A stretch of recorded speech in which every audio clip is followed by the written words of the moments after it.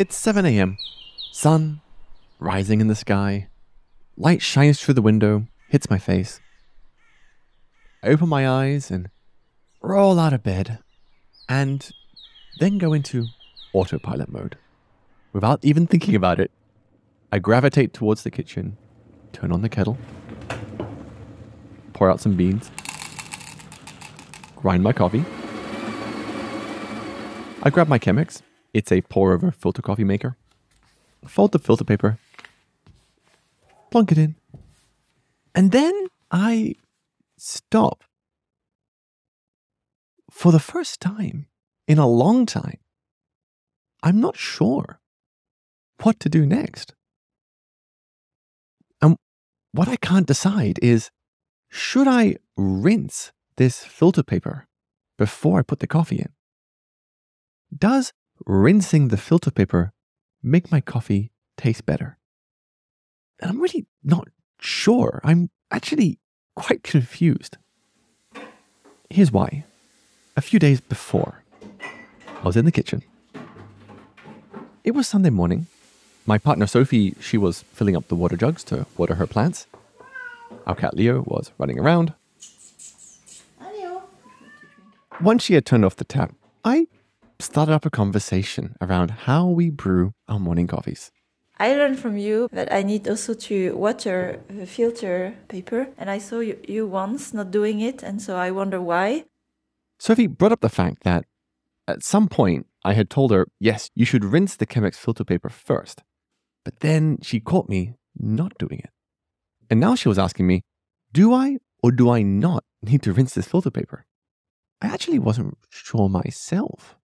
I mean, I've been to cafes, I've worked in coffee roasteries, read blogs. Everyone says, rinse your filter paper first.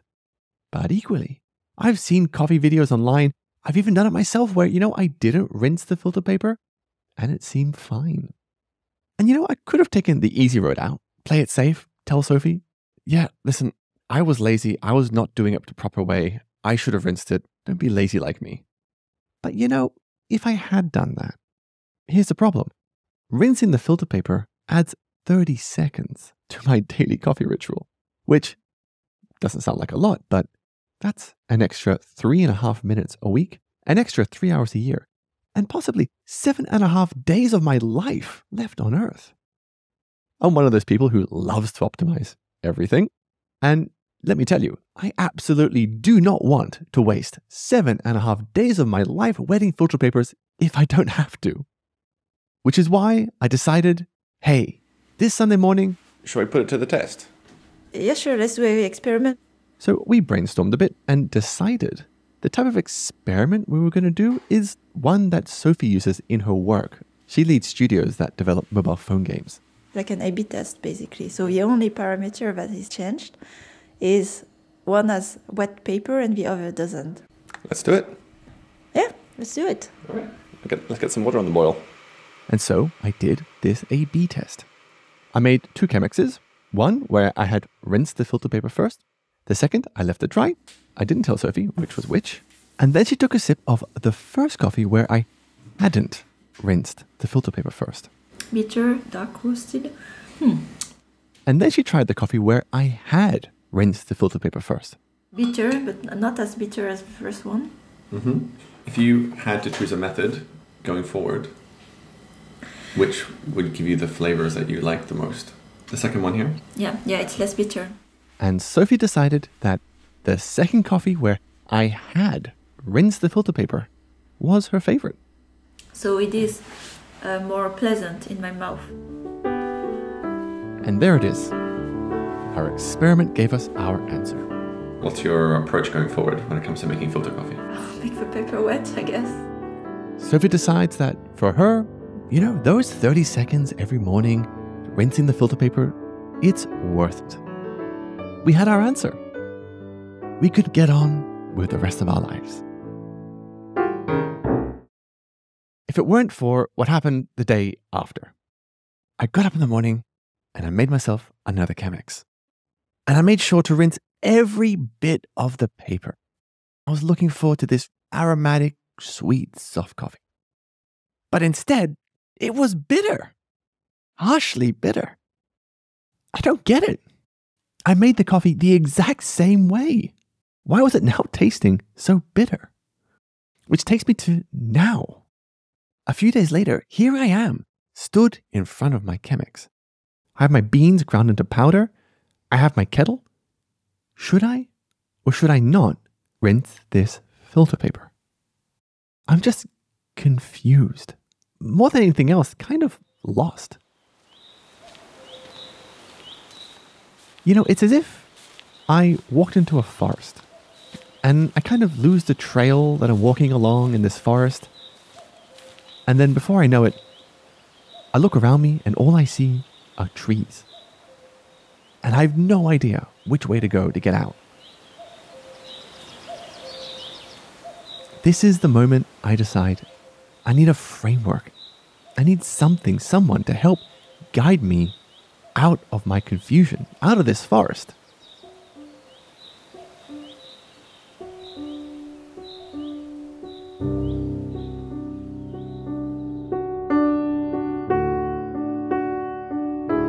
This episode is the journey I went on to understand what does a good coffee experiment look like?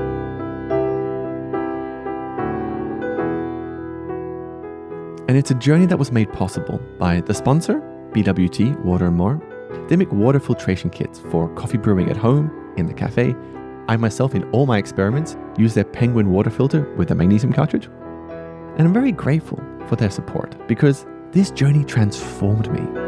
It fundamentally changed my relationship to science and the entire coffee industry.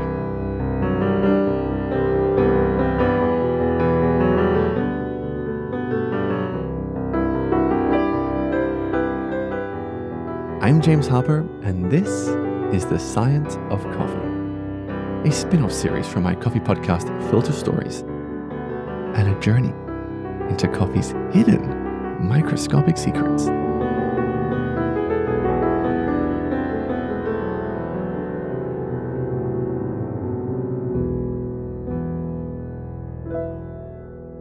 So I needed a methodology, a framework. I needed to do a test, an experiment that would conclusively answer the question should I or should I not rinse my filter paper? And I got my answer during one of those ridiculously hot heat waves that gripped Europe back in the summer. I was sat in my studio in shorts and t shirt, droplets of sweat trickling down my forehead. My fan was doing overtime and I was on a Zoom call with a man in Copenhagen, Denmark. No, I have. Yes. Yes. He had his laptop perched in the middle of a roastery. Behind him was a big roaster, tubes and stainless steel benches, and big tubs of coffee. Yeah, I'm uh, Morten Münchow, founder of Coffee Mind. Morten is a rare person in specialty coffee because he straddles two worlds. He comes from the craft specialty coffee world. You know, people like you and me, we love interesting flavors. You know, we're all about good coffee. But what makes him unique is how tied he is to the world of academic science. And he runs a company called Coffee Mind. Coffee Mind is a primary education company, but with my background, I just can't help to also focus a lot on science and scientific methods. And he's partnered 13 times with universities to publish research projects in coffee. And it's there he came across a framework, a framework that I could also use to put my wetting filter paper question to the test. This is the framework that's been used by sensory scientists for almost 50 years now. It's developed by Rose Marie Pangborn at UC Davis in the 70s. And she divided sensory science into three phases of inquiry. It's three phases, and each phase answer one and only one question at a time. And if you get a positive, you go to the next phase. If you don't get a positive, you simply stop investing. And here it is. Step one. So the first question is Is there a difference at all? So let's say I redo my rinsing the filter paper experiments and I decide, yeah, there is a difference. We then go to step two. The next step is What is the difference? And only in intensities, not preferences. Only intensities. Intensities of the uh, basic tastes and the intensities of the categories of our flavor wheel. So now what you would do is measure how much more bitter does coffee taste when you don't rinse the filter paper? How much sweeter is it? How much more acidic? What about the aromas? Are you getting more fruity notes? Fewer chocolatey notes? So let's say I do these tests and I discover that wetting the filter paper actually lowers the acidity. Okay, then we explore the third and final question. Third phase is who likes what. And so now we know that wetting the filter paper makes coffee less acidic. Sophie tries the two types of coffee and decides, I prefer it when it's a little bit less acidic. But me, on the other hand, I'm like, hmm, no, I like this acidity. I prefer it. And then we would have our answer. Rinse the filter paper for Sophie, don't rinse it for me. But I'm getting way ahead of myself here.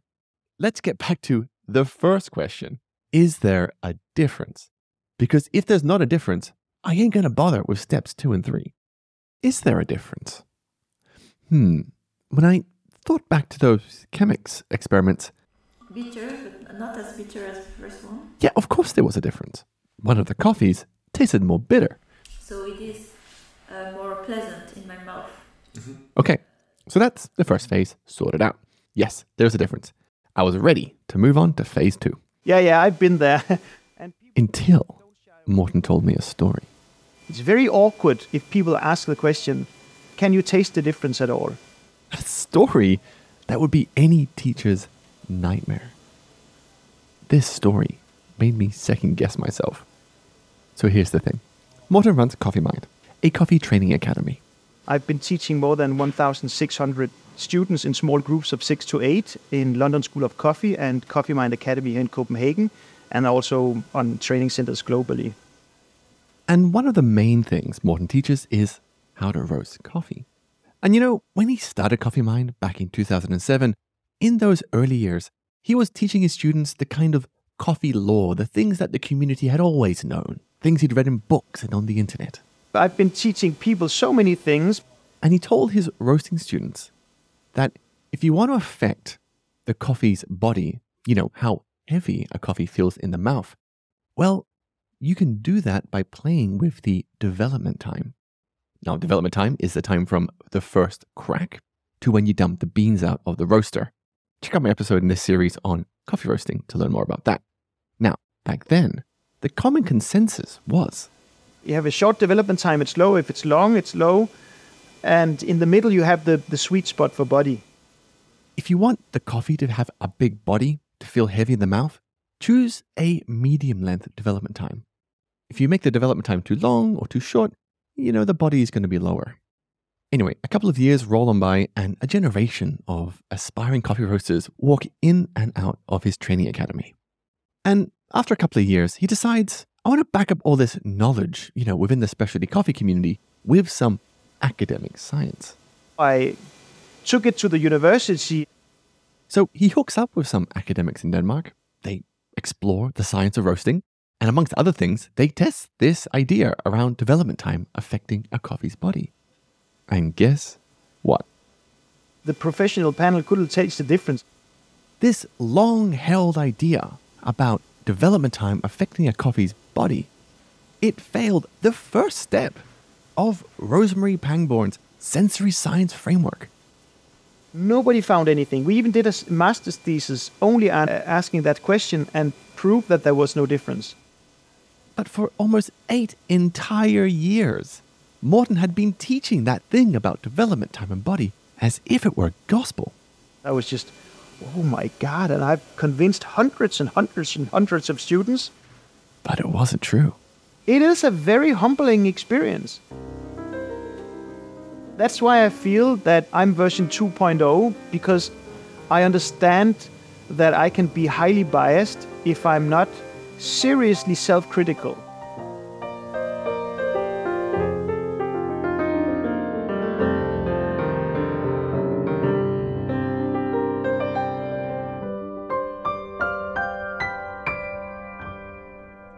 Could totally see myself in Morten's story. before Morten decided to test this development time and body idea with a university, you know, I picture him and his students gathered around his table. He's got coffees lined up, ready for a tasting, and he tells them, look, these coffees here have a low body compared to these coffees over here. And his students taste the coffees and they're like, yeah, yeah, totally. We, we taste it. And that's just like me and Sophie when we put two coffees side by side. I told her that I had brewed one of them differently. And so we went looking for a difference. And guess what? We found the difference. But was there actually a difference? Had we just fooled ourselves into imagining a difference when there actually wasn't one? And Morten only discovered there actually wasn't a difference when he did the tasting tests to the same level of rigor as a university. And I decide that's what I want to do. But I didn't actually know what that looks like. What are universities doing different to what I'm doing? So I went hunting around and I was very fortunate to grab the ear of quite the expert. All right, let me grab, I've got to grab one thing, just a second. Okay. So one day I was here in my studio in Berlin. It was getting late in the day, sun was low in the sky, my room filled with this beautiful orange glow. It's another one of my little cheat sheets. So, And I got on a Zoom call with someone who had just woken up on America's West Coast. well, I am Becky Bleibaum, and I am a sensory scientist. I've been a sensory scientist for a long time. Becky has been in the world of sensory and consumer research for over 30 years. And a few years ago, she even branched out and created her own consultancy. And my company is Dragonfly Sci. We're located in the San Francisco Bay Area. And uh, we help companies try to make products better for consumers, understanding that sensory experience. Now, Becky told me a surprising story. Basically, what happened, a coffee company reached out to her. They were like, We want to create a new coffee. We want to know, like, what do consumers think of the coffee that's out there? What should we offer that's different? What do they want? And so Becky's like, Cool, cool, nice question. Let's start with the basics. We're going to get a bunch of coffees from the supermarket, your competitors, There were two major brands, and we did a discrimination test. and let's see, can consumers even tell them apart? And you couldn't tell the difference between two major brands. They were so similar. Becky had the keys to a methodology. What test did you do to figure out that actually consumers cannot tell the difference between two supermarket coffees?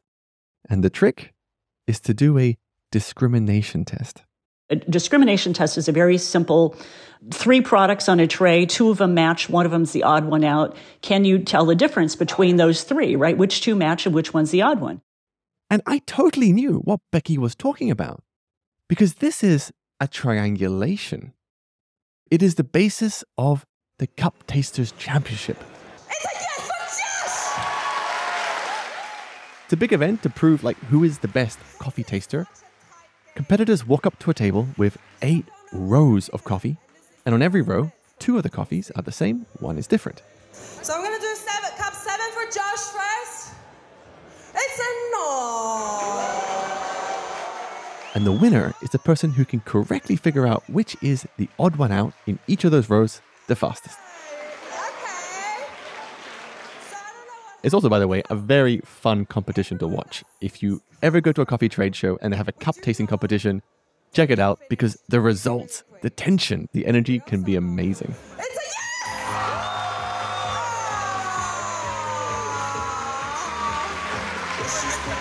yes. So I felt confident to put it all to the test myself. One morning I got up, walked into the kitchen, was greeted by Leo the cat, and I brewed three Chemexes. The first two Chemexes, I left the filtered papers dry, didn't pre wet them. But the third one, I thoroughly rinsed the filter paper. Are we being recorded? Or? Yes. Could Sophie tell which was the odd one out? Can you pick out the one that's different? Those two are bitter. Mm-hmm. He's less bitter. That's all I can say. That one is different. And lo and behold, Sophie got it wrong. The coffee she said was the odd one out was actually one of the two where I hadn't rinsed the filter paper. So I guess that's it. I had my answer to step one of Rose Marie Pangborn's three step sensory methodology. Could Sophie tell there was a difference? Correctly identify the odd cup out? No, she couldn't. But I, I have to say, actually, when I looked down at my notes, I noticed something kind of important. But I did measure when the water in you know in that final pour, when the water goes below the bed of coffee. The coffee Sophie said was the odd one out, the one that tasted the least bitter. The water finished draining through the bed of coffee almost a whole minute faster than the other two coffees. So the one that you said tasted less bitter and more um, acidic, that happened at two minutes 30 and this one over here happened at three minutes twenty four. Yeah, so longer. Longer. And when I mentioned that to Sophie, she speculated maybe my brewing technique was leading to different results. Bitterness is different for obscure reasons, Mm. which I would assume is more on the way of brewing, temperature, water, etc. Ooh, this one uh, kind of hurt. Uh, Sophie, Sophie was accusing a man who makes podcasts about coffee for a living that he can't brew coffee consistently. And I was thinking to myself, no, no, I, it was consistent. It was the same recipe 300 mils of water, 22 grams of coffee. Boil the water, don't let it get too cold. Pour the water in, you know, more or less the same way every time. But yeah, okay, look, yeah. It wasn't absolutely perfect every time. I'm sure I could have been more consistent. But seriously, any differences in my brewing were tiny, tiny. How big a difference can they really make? But it's when I took a train to Switzerland that it dawned on me. Oh, coffee is actually very hard to work with. I hopped off the train, unfurled my Brompton bicycle, and cycled down the beautiful lake near Zurich, where most of the roads are congested with gas guzzling SUVs. Anyway, I cycled past some plump looking dairy cows, turn off the main road, get up a steep little hill, and park up my bike at the Zurich University of Applied Sciences, Where do we start? Let's just start with the beginning. So, uh, where I met a coffee scientist. tell me again, who are you? What do you do? Oh, hi, I'm Samo Smrke. So I'm an analytical chemist. I did my PhD in analytical chemistry. Samo works at the Coffee Excellence Center. It's a research and educational institute, and they also have a master's program, which is available to everybody, including yourself, called the Certificate in Coffee Excellence. That takes you A to Z through coffee science. Link in the show notes. There is natural variation in everything. Some you can control better, some you can control not so good, some impact more, some impact less. Samo explain that when you do any experiment, and especially in coffee, there is just a huge amount of variation. The variability of all the processes in the coffee is significant. He uses the example of making an espresso, where you use a tamper to press down on the coffee bed before you lock it into the espresso machine. For example, you we're talking about espresso, the way how you temp, the angle of the temper, the force of the temper. There's just so much variation. And he explained to me first things first, to do a good experiment, you need to understand where there might be variability in every little part of your experiment. The issue is that sometimes you don't realize that something is not constant or or you think that it is but it isn't.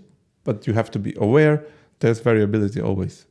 So I think back to me brewing Chemexes in the kitchen, and I realize, geez, I'm inconsistent everywhere. I mean, when I'm pouring water onto the coffee grinds, sometimes it's an aggressive pour, other times it's a lighter, more circuitous pour. The water temperature. I wasn't actually measuring the water temperature, so I don't know, maybe the water was going to be at 94 degrees one time and another time 92 degrees the tap water. So, you know, I use my BWT water jug to filter all my water, but I, you know, I hear stories that sometimes the water company switches the water supply. And this new supply of water actually has a different mineral content which can have an effect on the flavor. But there were some places where, whew, I knew I was being consistent. For example, I used 22 grams of coffee in and poured a precise 350 milliliters of water. These were the crystal clear numbers my electronic scale displayed to me. But guess what? Those numbers, which I thought were accurate, there's variability in them too. You know, you have your, your weight of the brew, you have your scale. It says 40.0 uh, grams, but you have to be aware that there's a certain error in this measurement. So it could be 39.9 and uh, 40.1. Oh my lord. Oh, I was beginning to think, this is too much. This is too much. And Samuel explained, yeah, it's tough. It's really tough. So that's the fundamental point of this kind of experiments is that everything has to be as constant as possible apart from the variable that we are changing. But that's the challenge. If you want to do a proper experiment where you actually measure the thing you want to measure, in my case, rinsing the filter paper or not, this is what it takes. And Samo said, You know you're ready to actually do your experiment if you're able to brew the same coffee over and over and over again identically. Now, can you make 10 brews one after another and you're sure that they're completely indistinguishable? And so when I get back to Berlin, Sophie was going to be away for a week for a business trip in India, and I announced to her I will figure out how to make coffees identical. That'll be my task. While you're, while you're away in India, that'll be my task. And to pull this off, I realized I needed pro equipment. So I buy a digital thermometer. I also buy a refractometer, which is a device that measures how strong a coffee is.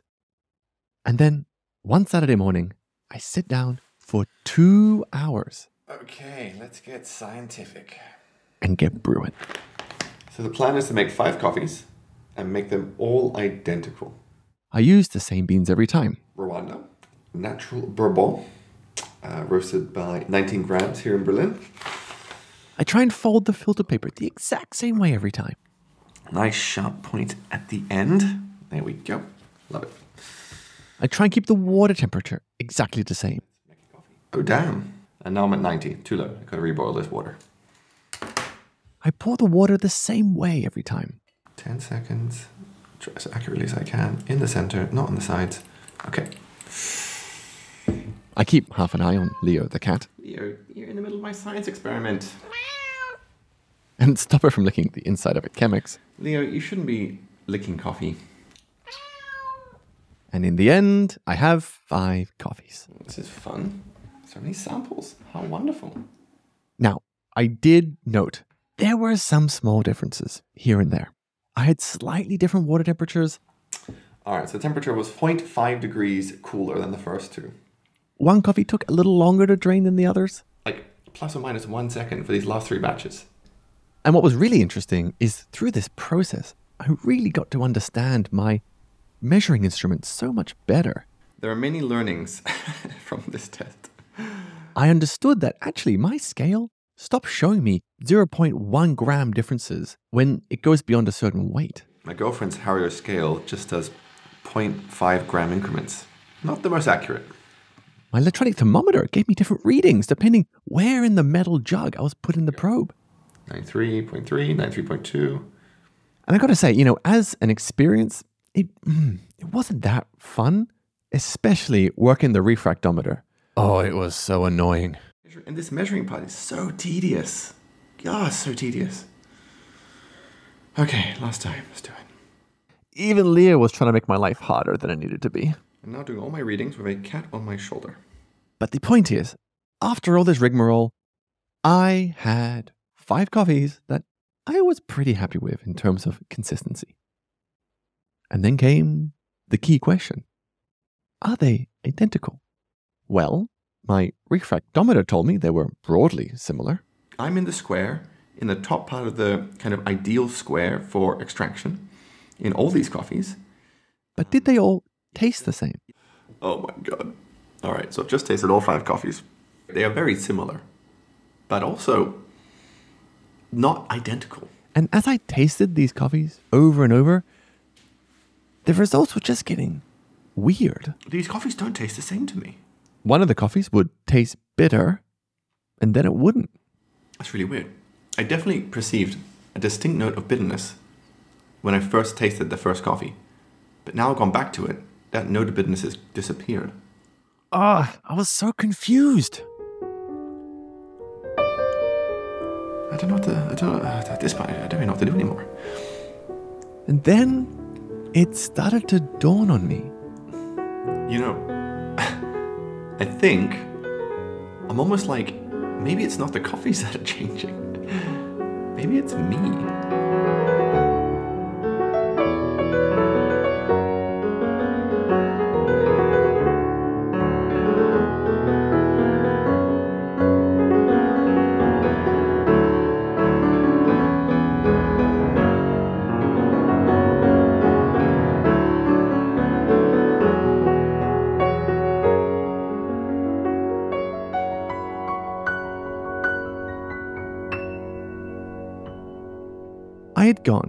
This effort to prepare these five coffees as consistently as I possibly could, only to realize that actually, maybe me, as a tasting sensory instrument, am not consistent.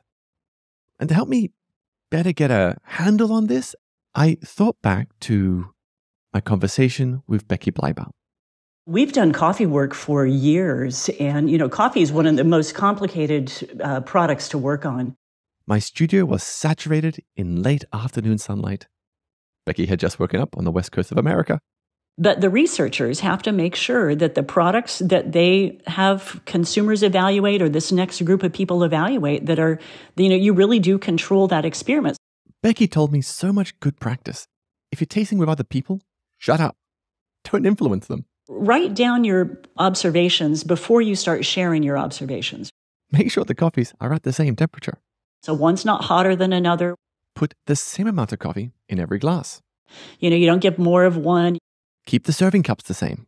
You serve them in the same cups. And to be honest, I hadn't been doing any of these things. So initially, speaking with Becky, it was more just being reminded of this good practice that I already knew that I should do.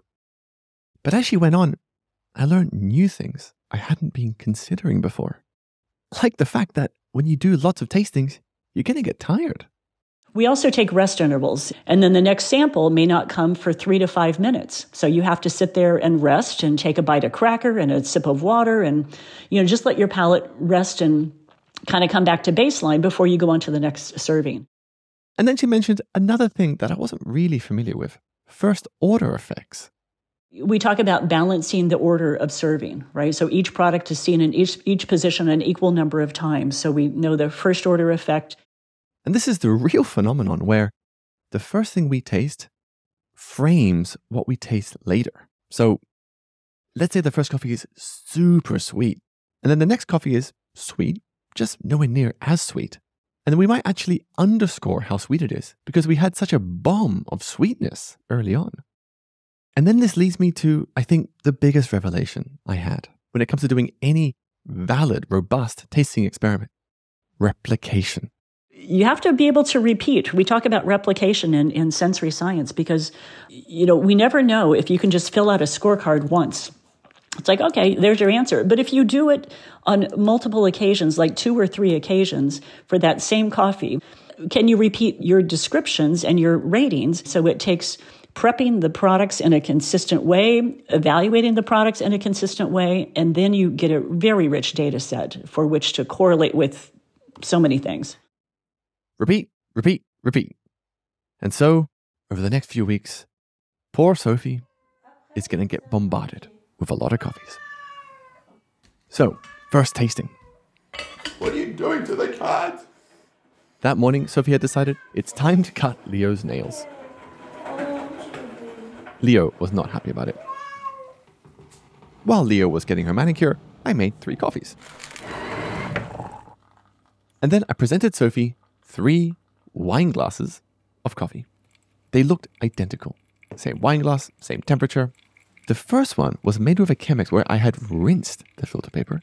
And the second and third coffees is where I left the filter papers dry. You have a glass of water, taste one, have a sip of water, taste another, and just tell me which one is the other one out. And Sophie, she got it right. Acidity, maybe some sourness. Mm-hmm. And this is more just more bitter. It starts more with a bitterness. I was really impressed. She picked the odd one out. But it also could have been random chance. I don't know. I needed to do more tests. So, a few weeks go by. It's now the week before Christmas, and we have plans to be away. Sophie is so distraught at the thought of being away from Leo for more than a day, I thought I could put a camera when we are away to uh, just. and she's installing a video camera to spy on the cat. It's more for me to have a connection to her when I'm away, you know. Anyway, I make my three coffees. And Sophie has in front of her three identical glasses. The first one, I did not rinse the filter paper. The second, I did rinse the filter paper. And the third, I didn't. But I try my best. So this is this has more a bit like sourness. Mm-hmm. And she gets it wrong.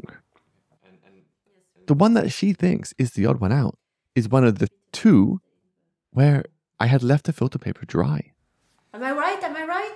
And I just didn't have the heart to tell her she was wrong. You get my points. Is I There's get no wrong answer. James, tell me I'm right. Tell me I'm right. Tell me I get the score. There's no tell me I'm answer. perfect. Tell me I'm perfect. You're perfect, Sophie. That's all that matters. Just to be clear, she's being sarcastic. I hope.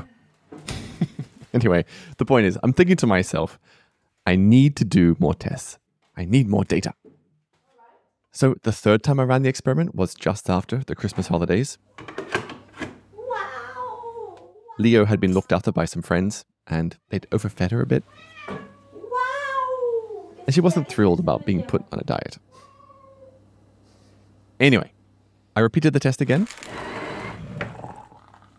This time, first coffee was a dry filter paper, and the next two I rinsed them both. The one in the middle tasted uh, much better than the other two ones on the side. And Sophie got it wrong again. Of these three experiments, Sophie had got two of them wrong and just one of them right. And then I put poor Sophie out of her misery and a few weeks later did the fourth and final test. It was a Sunday morning. She's like a dog. Sophie was playing hide and seek with Leo the cat. And I brewed up three more Chemexes. I rinsed the filter paper on the first and third coffees, and I left the middle coffee dry. The first one is the odd one out. And she got it wrong. That was it. I had my results. I did four tests, and Sophie only correctly identified the odd cup out once across four different tests. And the way I think about it is random chance, right? Like Sophie choosing three out of the four incorrectly, that is worse than random chance. Now, was it a perfect test? Absolutely not. There are other parameters, hmm. but they are really hard to control hmm. again. If I invested more time and money, I'm sure I could brew these coffees even more consistently. In statistics, you need mm-hmm. more than 400 actually tests conducted with the exact same parameters. And it would be good to have a lot more data than just four tests. How about we, we repeat this experiment every day for the rest of your life? And that way we'll have the absolute best statistical data set. You is, can, where, you can spend 30 minutes every day doing this test. How about this is that? where I set a boundary, James. I- I'm setting hard boundary here. At this stage, what it says to me is that I don't know if rinsing the filter paper makes a difference. But what I can say with certainty, the way I make my Chemexes in the morning, there is so much variability in the way I make Chemexes. Even after being super, super careful, trying so hard to be consistent, the impact that rinsing the filter paper has, it is negligible. You cannot tell the difference. There's too much other stuff going on. So, in some ways, I failed. But I love this result. I failed to get past the first step of Rose Marie Pangborn's three step process. Sophie could not tell there was a difference. Which, in many ways, is a relief. I feel with these results, I've clawed back seven days of my life. Even better, my carbon footprint. I'm not going to be wasting energy boiling up you know, 50, 100 mils of water just to wet some filter paper that doesn't need to be wet in the first place. This is a big win. Okay, it's a small win, but like, it has an impact.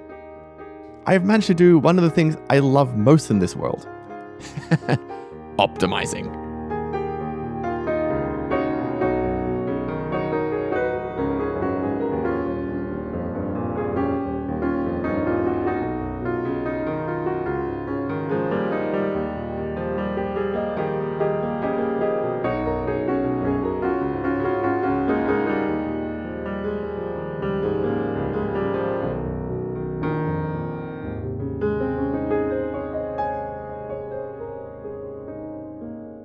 This journey I went on led to one of the most profound shifts in me as a coffee professional.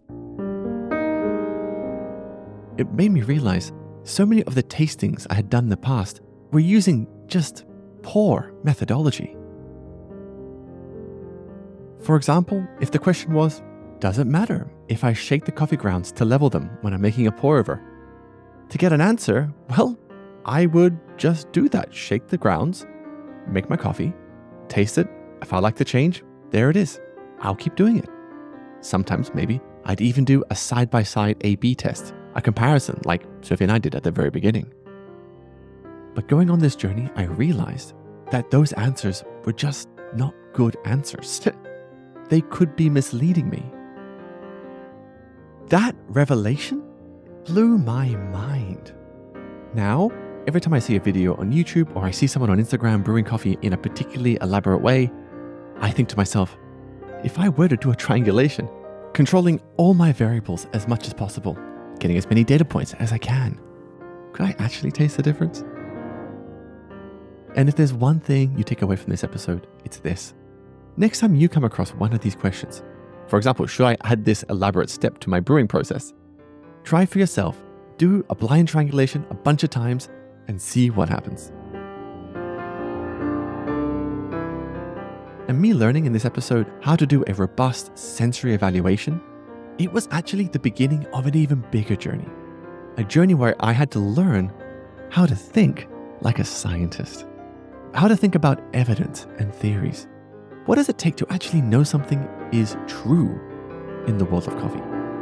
That is the journey I went on in the next episode, and I cannot wait to share it with you.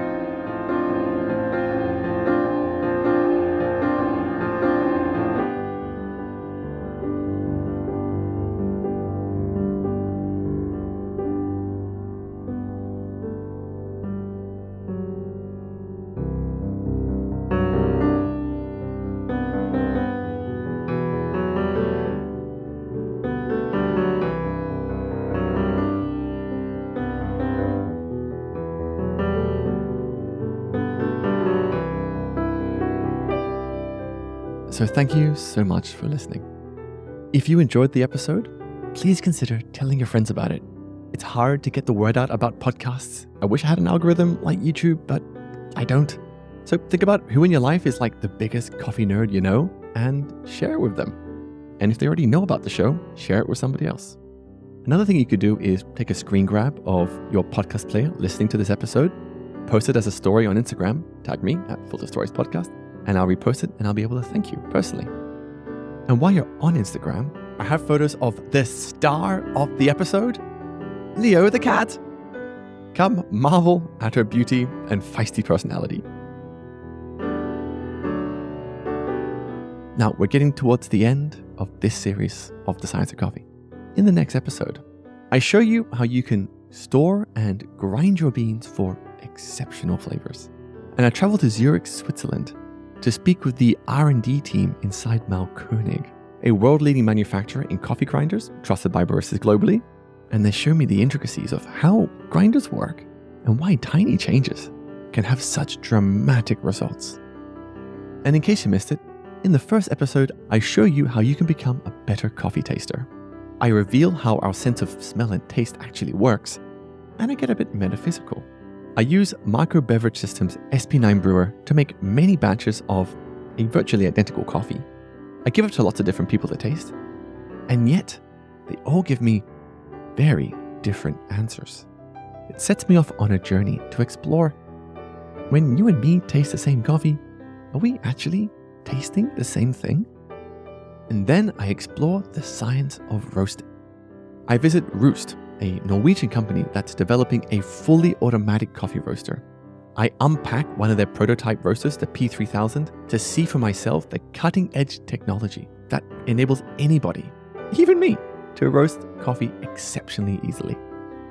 And then I take you with me to Honduras to attend Let's Talk Coffee, a gathering of coffee producers and other coffee professionals from across the world organized by coffee importer Sustainable Harvest. And I show you how organic coffee is actually produced and ask the question why are there so few organic coffee farms?